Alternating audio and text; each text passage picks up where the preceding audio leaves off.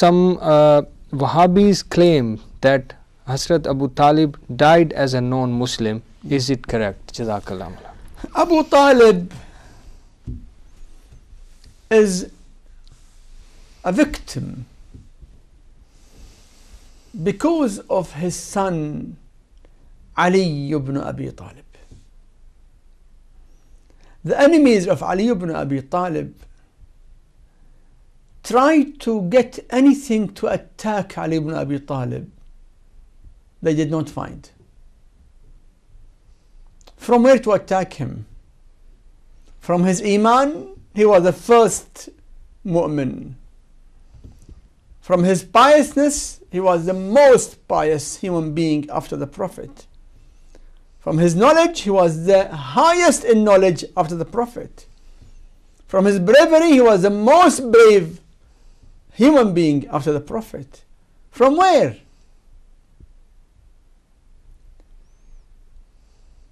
They came with this allegation that Ali ibn Abi Talib's father died as non-Muslim. And this allegation was fabricated long after the life of Ali ibn Abi Talib. Do you know why? If you read the letters between Ali ibn Abi Talib and Muawiyah, during the time of Muawiyah himself, when Ali ibn Abi Talib was telling Muawiyah that you are the father of Abu Sufyan, the mushrik, and I am father of Abu Talib. Son. Muawiyah didn't tell him that your father also was non-Muslim. Never. You would never find it. That time everyone's, everyone was knowing that Ali ibn Abi Talib's father was one of the greatest believers. But after that, it was being fabricated. In the time of Imam Zayn al-Abidin and Imam Muhammad al-Baqir and Imam Jafar Sadiq, it became like a rumor supported by the government that Abu Talib was not a Muslim. And they paid money to fabricate narrations that the Prophet was telling his uncle, Say, say it, say it, oh my uncle. And he did not say it. That is completely false. Abu Talib was a great believer who did not declare his Iman just because of the interest of Islam.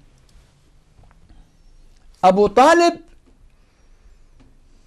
was the greatest supporter of the Prophet all his life till the last second of his life. He did not declare himself as a Muslim in front of the mushriks, but from his heart of heart, he was complete mu'min.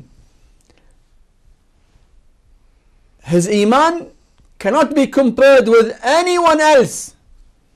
We have got hadith from Imam Ja'far Sadiq that if the iman of Abi Talib was kept in one side of a scale and the iman of all people on the other side of the scale, the iman of Abu Talib will be greater. Abu Talib was not only a mu'min, he was a great mu'min. Imam Ja'far al-Sadiq alayhi salam was being asked that some people claim that Abu Talib was not Muslim. Imam said that his iman, Abu Talib's iman is greater than the iman of all people. And he said that if you die doubting the iman, the faith of Abu Talib, you will go to hellfire. Because you are doubting the iman of one of the greatest believers. we have got also a narration from Ahlul Bayt when someone came and asked the Imam that people claim that Abu Talib passed away without accepting Islam. Imam said, كذبوا لعنهم الله. They lied. May Allah's curse be on them. Imam says. Imam said also that the Prophet did not allow any Muslim lady to remain with non-Muslim husband. All of them.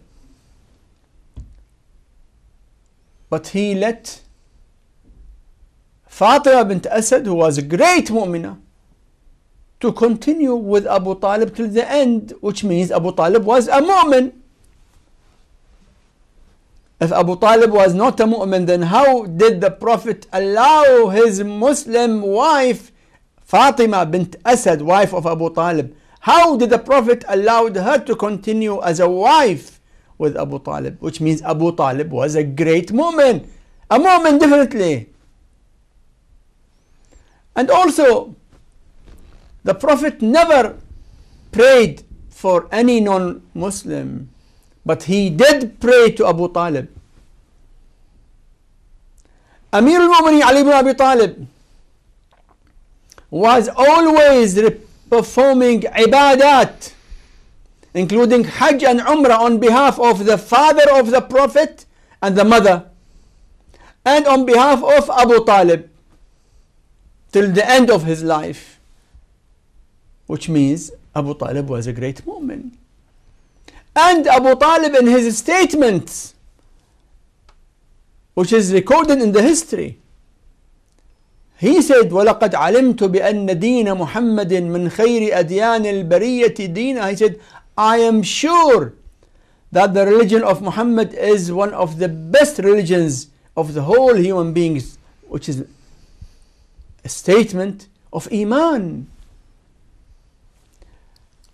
My respected brother, this attack on Abu Talib is attack on Ali ibn Abi Talib. We have hadith in Sunni books and Shia books. It is narrated also in Kanzul Ummal, the very famous Sunni book of hadith. The hadith says, Oh Ali, the Prophet telling Ali, Oh Ali, you have got examples from many prophets, including Isa,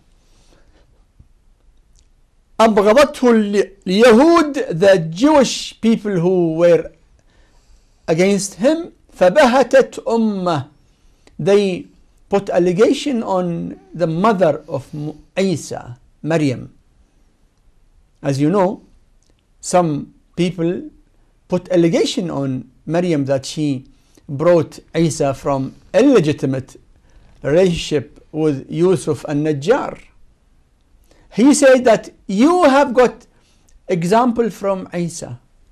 If you read this hadith, then where is this example in the life of Ali? Yes, because the people who hated those who were enemies of Ali ibn Abi Talib, they put allegation on his father that his father was non-Muslim. Let me also add that many Sunni scholars, many, I can say the majority of Sunnis, believe that Abu Talib was a great mu'min. Leave aside the followers of Bani Umayyah. But there are many Sunni scholars who have written books proving that Abu Talib was a great mu'min. One of them is Al Barzanchi, full book about Iman Abi Talib. And one of them was Ahmed Zaini Dahlan, the Mufti and the most prominent alim of Mecca in his time. He had written a book about the Iman of Abu Talib alayhi salam. Thank you very much, Mulana.